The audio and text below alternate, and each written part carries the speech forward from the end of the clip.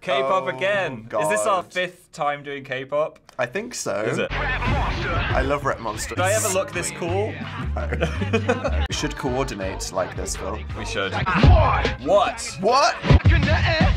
It's so aggressive sounding, but so soft looking. I like this one. Hakuna Matata. This is the Instagram filter we all need. Were they peeing then? Don't know. I like my K-pop a bit softer. They just make a Snowpiercer reference. I don't know. Yes, that's a good movie. I want to know their skincare routines. That's all I care about. Cleanse, tone, and moisturize, Dan. I think they do a lot more than that. Here we go. Drop the frickin' K-bass. I'm loving this one. Where did everyone else go? Are they kicked out of the band now? Oh no, here they are. Well, they just did a jump spin into frame.